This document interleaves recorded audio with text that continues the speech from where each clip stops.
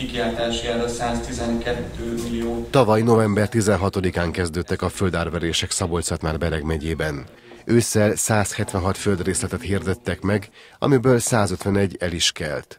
Ez azt jelenti, hogy több mint 80%-a a birtokoknak gazdára talált. A kikiáltási ár másfélszerese folyt be az értékesítésekből. Ez azt jelenti, hogy 2 milliárd 300 millió, több mint 2 milliárd 300 millió forint értékben kerültek meghirdetésre a földek, és több mint 3 milliárd 500 millió forint értékben találtak gazdára ezek a birtokok. A földárverés szigorú szabályéről beszélt tavaly novemberben, 35 perc című műsorunkban a megyei kormány megbízott. Kozma Péter azt mondta, kedvezményes hitelt kaphatnak a vásárlók, de cserébe 20 évig nem adhatják el a megszerzett birtokokat. Nagyon fontos, hogy 20 éves elidegenítés és terhelési tilalom lesz a magyar állam javára bejegyezve, és visszavásárlási jog.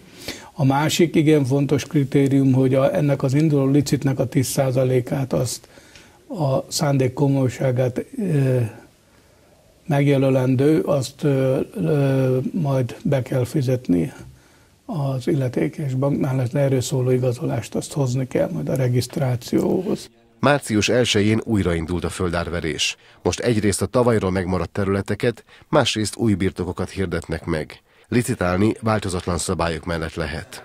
Földművesnek minősülő természetes személyek vehetnek részt, természetesen a megfelelő jogszabályban közölt okiratokat kell csatolni, illetőleg a regisztrációs díjat be kell fizetni, továbbá át kell utalni az árverési vételát 10%-át árverési biztosítékként.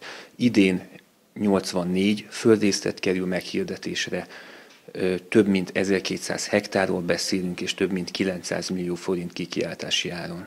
A meghirdetett földekről a Nemzeti Földalap honlapján lehet részletes információkat találni. Többek között Kemecse, Tiszavasvári és Újvahírtó környéki földekre lehet a március 30-áig tartó árveréseken licitálni.